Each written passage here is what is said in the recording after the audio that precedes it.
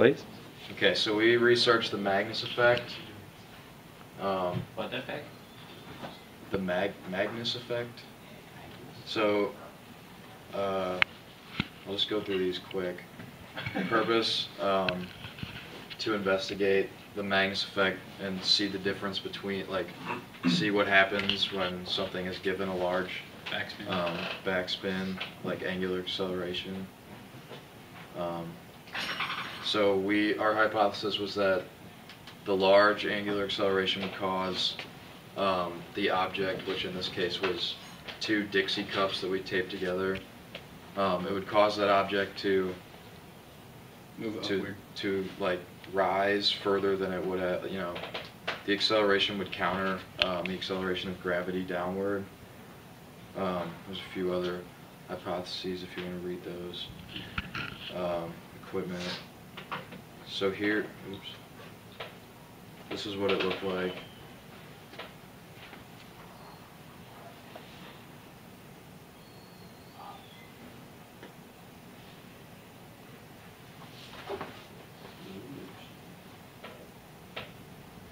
Pretty cool.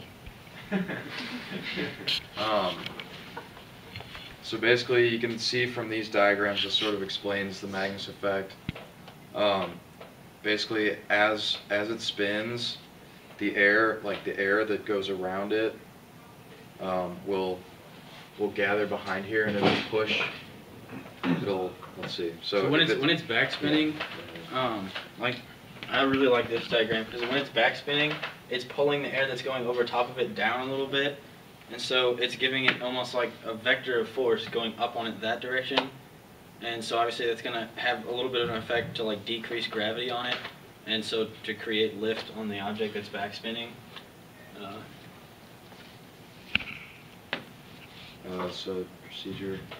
So here's we compare what we did was we compared it to just like tossing a ball in the air, and here's what you would expect um, those graphs to look like. So you see position um, in the x and y direction is like you would expect. So here's we don't need to watch that. That's just tossing the ball in the air. And then here's the graphs of position and velocity for the object that we. that had the backspin. Yeah. So you can see position. Um, what's interesting, I think, is in the x direction. Um, when when you just toss the ball up, the velocity is always the same in the x direction, but here, it's obviously changing. And then, in fact, right about The- there, right about there, you see it's like a negative. It's a negative slope, so it's got a negative velocity um, in the x direction. And we'll show you the video again. Basically, as it reaches the top, it actually goes backwards in the x direction, which is And you can look at either awesome. you can look at either one of these for the y direction, uh, whether you're looking at the slope of this here or that this is just zero. Uh, that like Yeah, the force up on it on the cup that's backspinning uh, had to have been close to or almost equal to the force of gravity down on it because it's not accelerating downward. It had a constant Yeah. velocity downward after it did the whole up thing and then came back down like that. so as it's coming down, it's at sort of like a terminal velocity. Yeah. Um, but obviously, I guess over time the air resistance would eventually stop it from spinning. I don't know. Yeah, that, and that's why uh, in the beginning it went up, and because the force created by the backspin, it was spinning a lot faster than right off the rubber band and everything, um, and that's why it went a lot faster, and it even went backwards a little bit before it started coming back down. Here's uh, the same one. yeah, probably. You can just watch it again. Yeah, it goes back.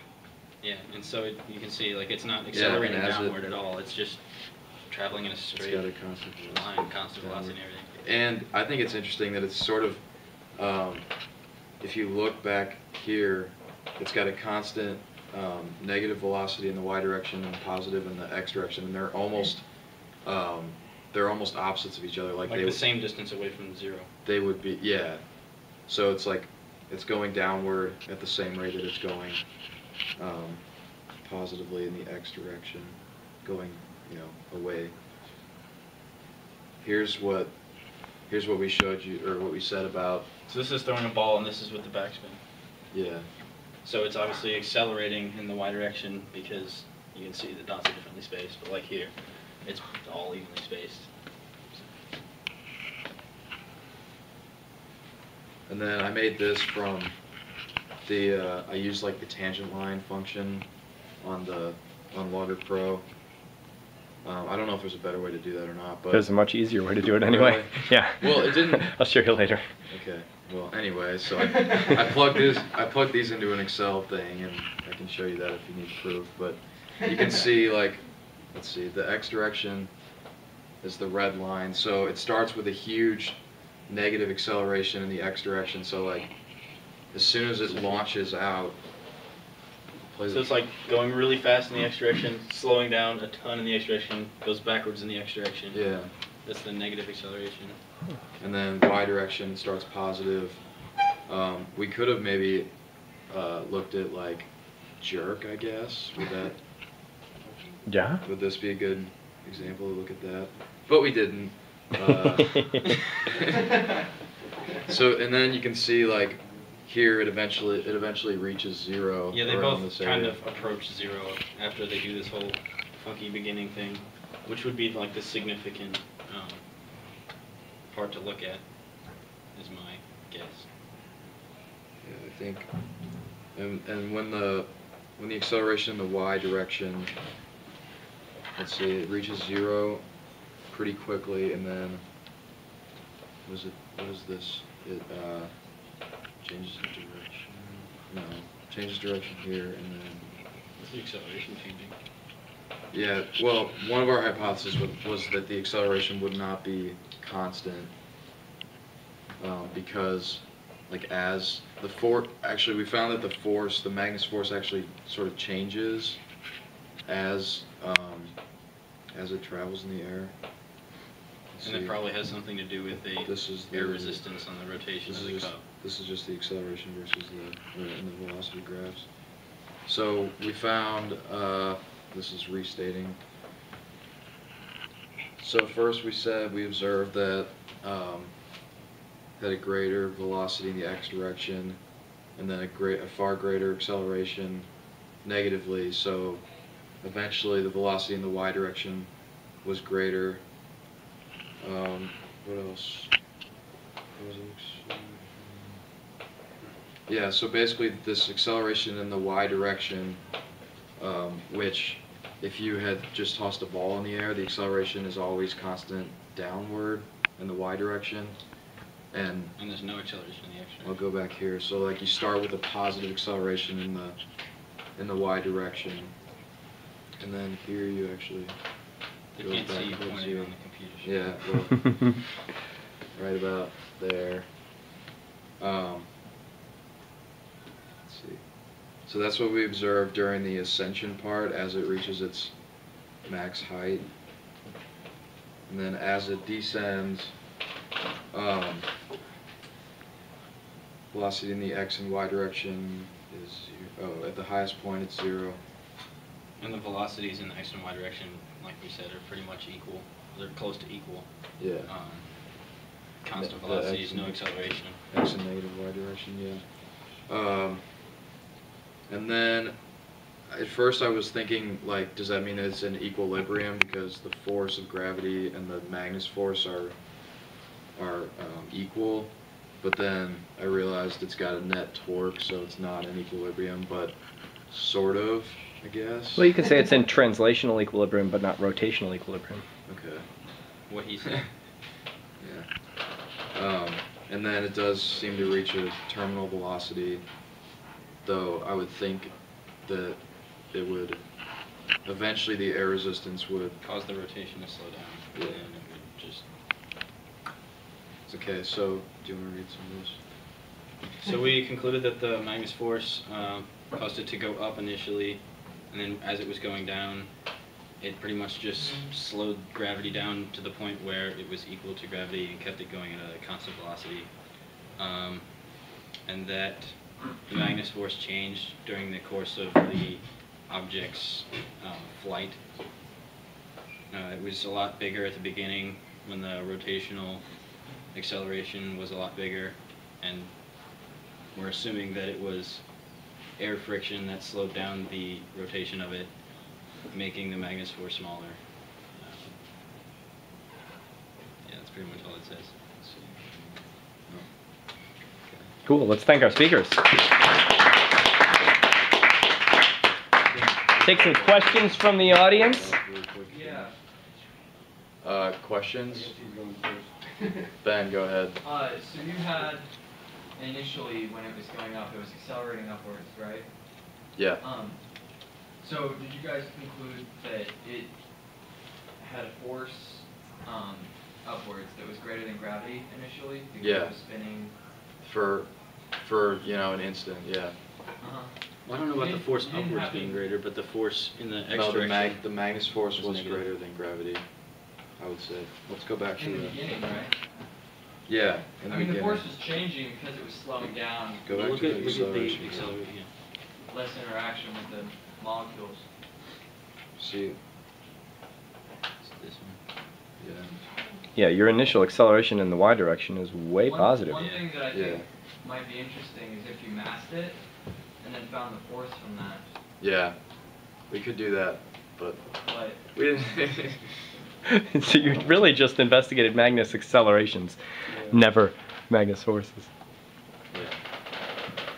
But wouldn't the mass sort of like cancel out though? Because if we're looking at gravity versus the. Assuming you always have the same mass, Yeah. mass isn't particularly relevant. It's a good counterattack. Well, you tried to explain to me your rubber band contraption, but I don't think I really, You know, as a Make Brody, I didn't know how to do it. well, Yeah, we don't have to t- have time to make one right now. It's okay. You have Well, two. yeah. You have two Dixie cups. Okay. You turn them upside down. You put the bottoms of them together, and you Okay. put a piece of tape around the center so that the bottoms are taped together. okay, You take a rubber band, and you take the rubber band underneath and over the top of it, and then just kind of wind the rubber band around. And then when you release it, it'll rotate the cup this way because the rubber band's pulling on it. Yeah. Okay. And so the cup will shoot forward and rotate, Alright. and then it goes up. Yeah, Steve. Uh, is the acceleration down ever greater than the acceleration of gravity? oh, I don't think Look at the scale. here. it's- that's 50, yeah. I guess. I guess it is. yeah. I- Yeah. Do you So- have an explanation for that? So what, Let's watch the video again. Yeah. yeah. I guess Yeah, you can definitely tell at the top that was a lot faster than like if you would just because as it like as it sort of turns, So because the here. force, it seems like the force kind of changes direction at the top there. So this like.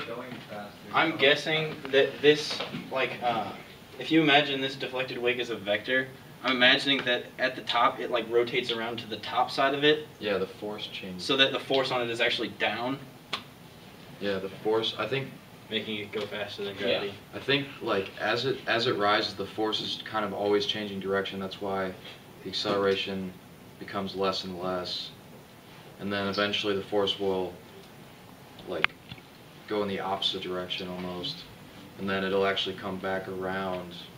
So like at the end, the force is pointing back in the x direction. Or no. so wouldn't it be sort of like an electron through a field? I- No. Iskander. Is it the angular acceleration that causes uh, ma- Magnus force be more than uh, the force of gravity? Well, that's yeah. the angular acceleration of it is what causes the air underneath the ball to spin uh, and to push on it up. So Are you sure that's Yeah. not the angular velocity? Is it the angular velocity or the angular acceleration that matters? I think it would be.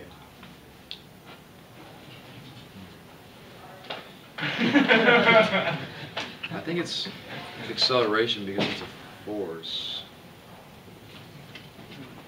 See. Is it the fact that it's spinning, or is it the fact that the spinning rate is changing? Which I of those think matters? it's, It's the fact that it's spinning, but when you change the rate that it's spinning at, it changes the force. Okay, So- all right. Yeah. So to answer Iskander's question, he was asking about accelerations. That would be changing the forces then, right? Not causing the forces, but changing it?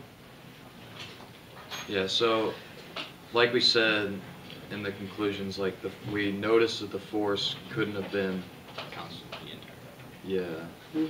So because, because the air friction and all that, um, the angular acceleration changes, so the force changes. Or the angular, yeah, and the angular velocity is what causes the Magnus force. Yeah. Anything else? Any other questions? I would like to go to that graph of the accelerations in x and y. I don't think it's a mistake that you didn't do it, but I'm really interested in the vector acceleration. Seems to me like the vector acceleration is relatively constant between 1 and 1.2 seconds, and then it, it begins plummeting at like 1.3 seconds and goes to zero. Almost to zero. Okay. So you see where there's a there's a big maximum in negative acceleration in x, and at that same time the acceleration in y is zero. So you've got actually a really steady vector acceleration, changing direction of course, but not changing magnitude. So like your accelerations are pretty Pretty constant. steady, even yeah, even a little bit longer than that, another dot or two beyond that, and then it starts falling. Excuse me, really dramatically, which is really interesting. I think, I think the thing is, the point where it reaches its, that must be the max height right there. Ah. And then, like, as it reaches that max height, what I'm thinking, I think that the Magnus force changes direction, so that's why the accelerations switch. Yeah, when we looked at the video, how like the Magnus force switched direction on it and pushed it downwards until it's caught up again. That'd probably be where that happened. Yeah, pushed it down for a moment. Yep, yep, yep, yep. That's consistent with that. And that's uh, that's like three G's down at the bottom of that blue line. Is that 30 meters per second squared? Mhm. Huh? Yeah. That's three G's down. Woo! For a little bit. Yeah, that's, that's pretty significant force. Got another question? Which one uh, what does blue and uh, red graph represent? Blue is the acceleration in the y direction, and red Oh, is the what? acceleration in the x direction of the cup that was spinning. Anything else? Carrington's got a question. Carrington? Alright, so back in your background, um, you had a couple pictures displaying the forces. Now, were you saying the main force was due to the compression of the air behind the ball during the rotation, or was it due to the compression between the air and the ball during the rotation? Because like, one side, the rotation was going with the air and what direction it was going, the other side was going against it. So which was the main force that was driving the, um, magnetic effect? Well, you could kind of I think it's, I think it's sort of like the air, after the ball passes through the air, the air tends to, like, will bend around it, and then it will, Yeah, but like the top part's going, like with the rotation, the top part is going with the wind, and the bottom part's going against the wind. And then we were also saying that was compressing the air behind it, while with the spinning. And I was just wondering which one was like the main force driving behind the magnet. I think it's the I think it's like these. I think it's this this back here, all of that. If you would if you were to sum that up, it would it would look, you know, it'd be a force going. It'd be like a. It would point. It would point upward.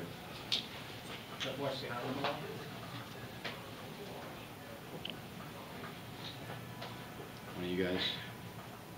Oh, okay. I was just gonna say that this is really interesting because it seems really similar to the way that a wing provi- or, oh, sorry, a wing provides lift to uh, yeah. plane. I was gonna say that when Yeah, I was that- talking about that.